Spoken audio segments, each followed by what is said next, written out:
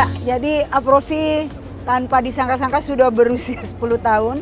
Ini adalah sebuah asosiasi profesi produser film. Jadi berbeda dengan uh, asosiasi seperti APFI ataupun PPFI yang sebenarnya adalah asosiasi perusahaan film. Ini adalah asosiasi profesi di mana keproduseran itu uh, menjadi kunci utama untuk para anggotanya bisa saling berbagi, bisa uh, sharing dan tentunya mengetahui perkembangan-perkembangan baru uh, atau ilmu-ilmu baru dalam film.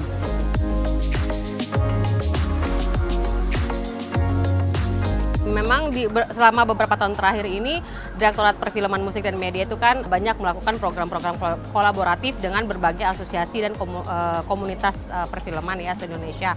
Nah, khusus untuk produser kita punya beberapa program strategis yang sebenarnya uh, sudah mulai kita laksanakan beberapa tahun terakhir ini. Dua tahun terakhir kita kerjasama dengan Jakarta Film Weeks, kita mengadakan Producer Lab di mana setiap tahunnya kita pilih 10 project dan uh, untuk tiga proyek terbaik produsernya kita kirim untuk mengikuti platform Busan di Busan International Film Festival.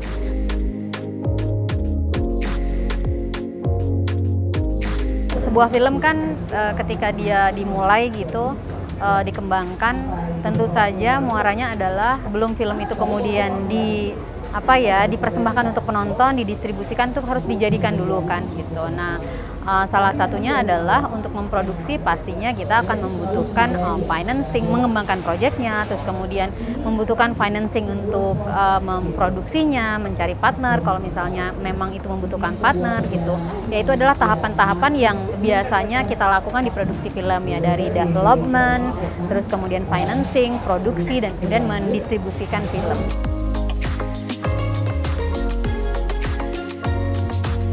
Saya sih seneng banget hari ini pas lagi 10 tahun Aprofi merayakan dan ada banyak banget ya. Kayaknya kalau saya lihat di dalam sih kayaknya 100 orang sih ada kayaknya ya. 100 sampai 150 orang tuh ada di dalam. Saya seneng banget karena artinya ada banyak gitu loh produser-produser muda yang memang tertarik terjun ke industri film gitu. Saya cuma mau menyemangatin teman-teman yang masih baru, jangan jangan ragu, jangan takut, jangan khawatir coba aja dulu, coba aja dulu dan uh, toh ada asosiasi kayak Aprofi ya yang bikin acara seperti ini kan tujuannya supaya uh, kita bisa berbagi gitu dan jangan takut nanya gitu loh. Uh, namanya juga baru mulai normal banget nanya-nanya.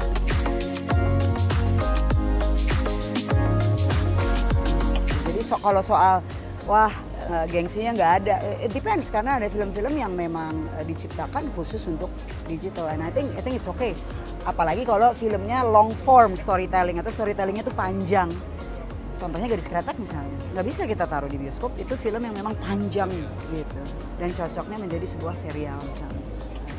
Kayak ya seperti itu. Atau film-film yang sulit untuk mendapatkan distribusi luas di bioskop kita bisa langsung juga ke platform digital. Pasti eh, aplikasi Indonesia Indonesia TV itu kan jelas sekali ya Indonesia TV punya purpose gitu. Konten-konten yang dibutuhkan harus punya purpose terutama terkait culture eh, Indonesia keindonesiaan kita atau local uh, story atau local wisdom atau apa pun itu gitu.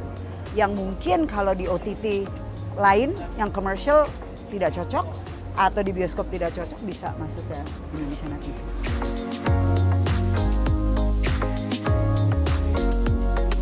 Harapannya untuk Kaprofi semakin jaya, semakin besar, semakin bisa memberikan impact yang baik terhadap ekosistemnya tadi, perfilman Indonesia, terhadap filmmakersnya, terhadap industrinya, terhadap uh, negara kita lah Indonesia lah. Dan dengan film sebagai salah satu kultur kebudayaan dan mungkin peradaban ya di Indonesia yang menjadi wajah Indonesia gitu ya, apalagi di mata dunia dan di mata nasional dan dunia lah internasional.